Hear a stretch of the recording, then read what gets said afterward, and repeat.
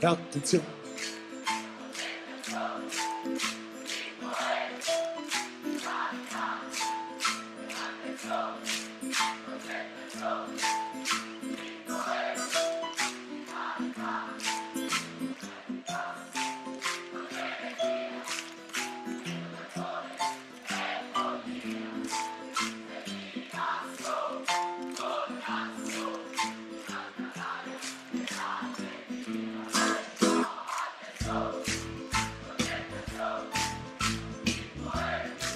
Esempio siamo, siamo, dei cittadini estremamente pigri, io credo che nessuno di noi avesse mai partecipato, cioè, non so, esci di casa, vai in banca e fai un valia per la ricerca contro quello, cioè, siamo, siamo, come tutti un po' pigri, un po'...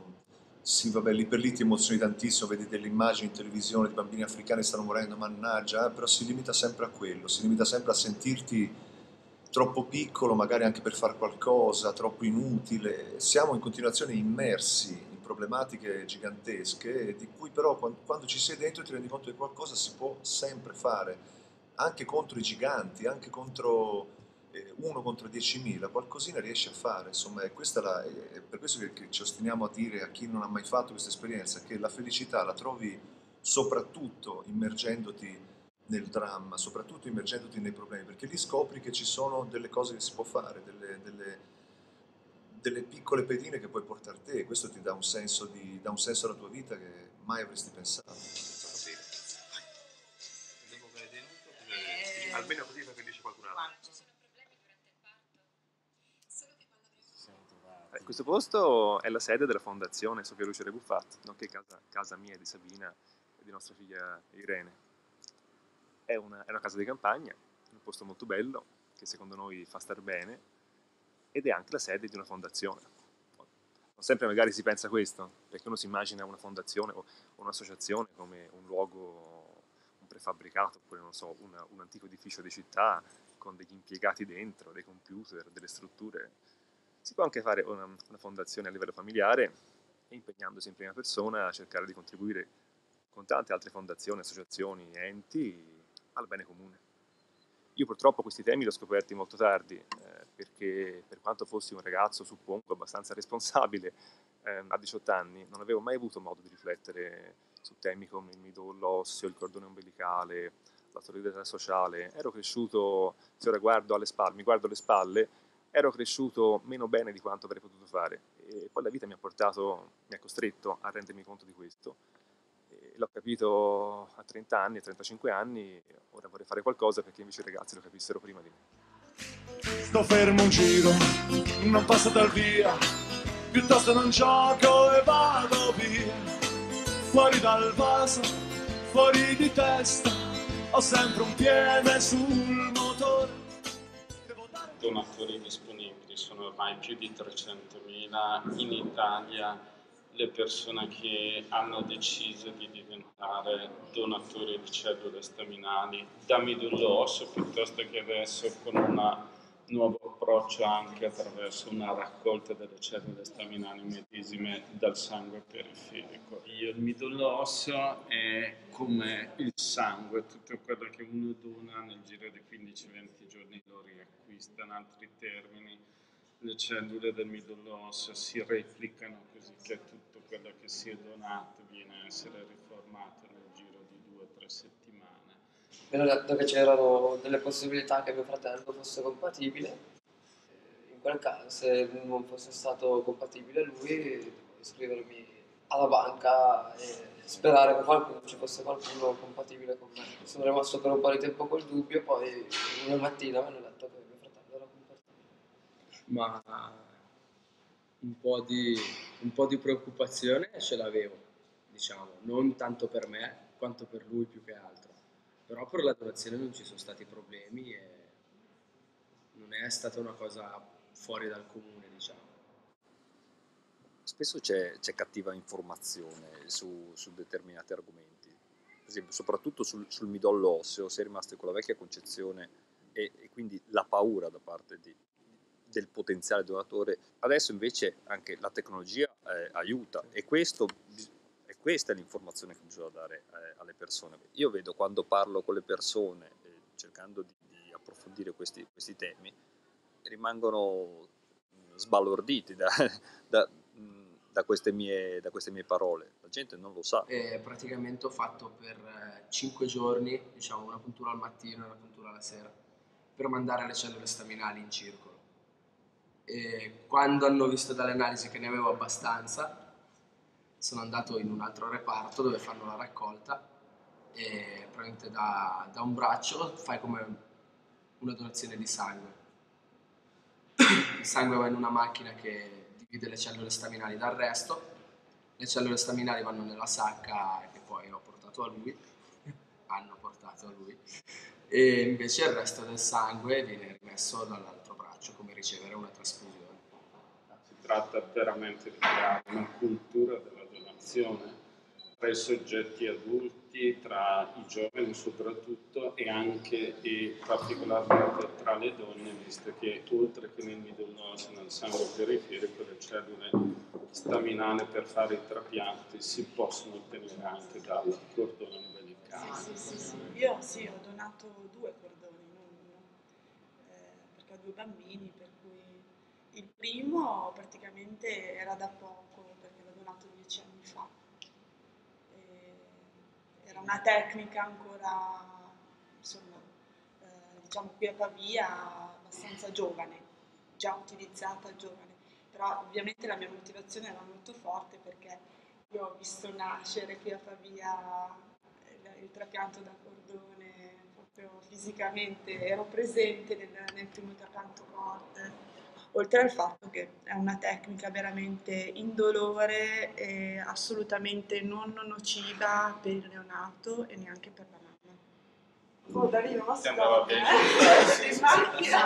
Si è andato progressivamente proponendo uh, alle mamme la scelta di raccogliere il cordone umbilicale per conservarlo rispetto ai bisogni del uh, proprio figlio o figlia nel momento in cui crescendo questi bisogni si verificassero.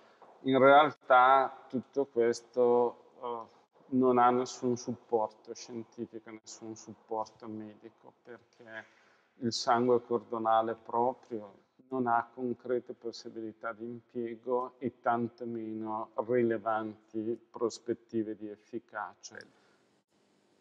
Nel nostro sito abbiamo voluto creare anche un, una specie di una sorta di blog dove ci sono scambi emozionali proprio all'interno del sito, perché insomma chi sta vivendo questo dramma ha bisogno anche di, di, di trovare non soltanto un supporto scientifico, ma anche il supporto psicologico che, che si può dare. Sì, perché non sentirsi soli è importante. Eh, io mi ricordo quante notti abbiamo passato sicuramente a, a navigare su internet eh, cercando, cercando, informazioni, cercando persone, cercando persone, perché qua parliamo di malattie rare soprattutto quindi malattie che, su cui la casistica è, è poca. E anche, anche, trovare su internet eh, un'altra persona, dei genitori che hanno vissuto o stanno vivendo un'esperienza simile, è comunque importante, anche se, se tu non ne trai un'informazione scientifica che già non possiedi, è comunque importante sapere che c'è qualcun altro che sta vivendo un'esperienza simile. Il ruolo del volontariato è assolutamente fondamentale, nel senso che a parte essere straordinariamente attivi, straordinariamente efficaci, eh, forniscono anche quel quid in più di motivazioni a tutti gli operatori del settore. Il volontariato gioca un ruolo assolutamente cruciale eh, nel promuovere eh, la ricerca, risolve i problemi logistici di tutti coloro che vengono a essere nella condizione di dover essere sottoposti a trattamenti sanitari lontani da casa, eh, favorisce e promuove una diffusione della cultura nell'ambito di queste patologie, quindi insomma insostituibile il ruolo del volontariato. Soluzione a tutti i difetti miei, è solitudine ma sempre allegri bisogna stare che il nostro piangere fa male al re, male al ricco, al. La discussione iniziale, quando fai cooperazione, fai un'esperienza del genere, ti deve servire anche a te egoisticamente. Andiamo sempre con un'ottica di dire vogliamo capire bene il problema, perché vivere come degli struzzi e mettere la testa sotto la sabbia è la cosa credo più antiestetica e più dolorosa che tu possa fare nella tua vita. E passare la notte per noi è la canzone che parla soprattutto della, del fatto che una persona qualsiasi vita abbia, ceto sociale abbia, eh, importanza dia alla vita, sceglie, ha capito che la, la ricerca della felicità passa attraverso soprattutto la cooperazione, il fatto di sentirsi utile, il fatto di sentire che stai dando qualcosa eh, a chi ti sta accanto e che ti ritorna sotto forma di felicità, di tranquillità. Io sono rimasto colpitissimo dal fatto che il, questo reparto era pieno di genitori che avevano perso i propri bambini e però rimanevano lì perché avevano capito come, sapevano benissimo quali sarebbero state le, le prime reazioni dei genitori eh, dopo che sai che il tuo bambino è malatissimo, insomma sapevano cosa fare, cosa non fare, sapevano quali sono gli errori da non commettere e rimanevano lì per dare la loro esperienza. Io di mio mi sono immaginato se dovesse accadermi una cosa del genere io scapperei lontano da, da, da dove è successo il dramma, invece eh, questa gente è andata oltre, capiscono che per, per, ritornare alla vita, per riacquistare fiducia nella vita, per sentirsi qualcosa, qualcuno, non puoi abbandonare eh, tutto quello che sai, devi darlo agli altri, devi per forza sentirti immerso in una comunità di persone che hanno, hanno problemi ma hanno anche gioie enormi.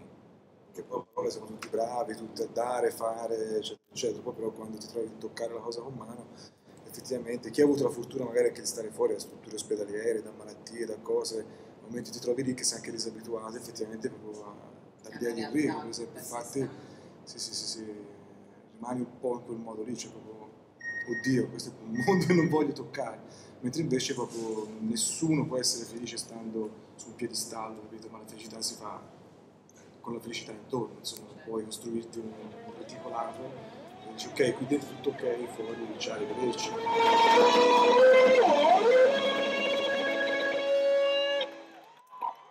Sì, quella frase, trovati ragionarci sopra, cioè ti costringe a ragionarci sopra. Adesso sei un donatore di. Anche perché si chiude così.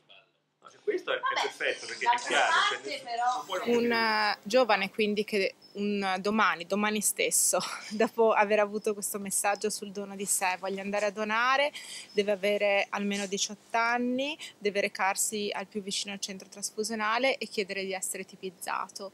Gli verrà fatto un semplice prelievo di sangue e la sua provetta sarà inviata a, a un centro specializzato che esaminerà i suoi dati genetici che saranno inseriti in un registro internazionale dei donatori. La cosa straordinaria è che quando noi abbiamo donato, quando eh, abbiamo donato il cordone oppure quando ci rendiamo potenziali donatori, non sapremo mai a chi andrà il nostro dono. Quindi è un dono del tutto gratuito, spontaneo, non sappiamo chi avrà bisogno eh, di noi o del cordone che abbiamo donato, non sappiamo dove, perché ovviamente potrebbe essere un paziente di qualsiasi parte del mondo, in qualsiasi momento.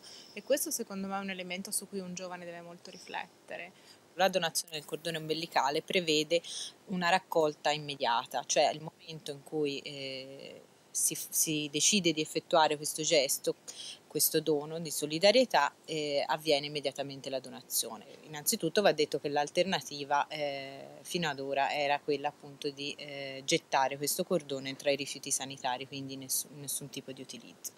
Ehm, la donna che decide di compiere questo gesto eh, deve eh, rilasciare un consenso informato, scritto, prima, arrivare, prima, del momento del parto, quindi c'è tutta una serie di informazioni a cui la donna eh, è destinata, che deve ricevere durante la gravidanza e anche tutta una serie di informazioni che la donna stessa deve riportare in un questionario eh, sul suo stato di salute, sull'andamento della gravidanza,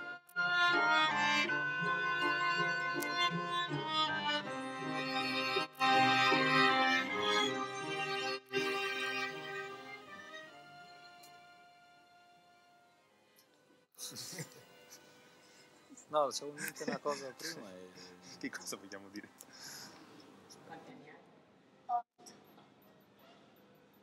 E che hai fatto poco tempo fa per Anna? Io non mi donato. Adesso è brutto perché ma, ma, il dottore mi ha fatto vedere la barella.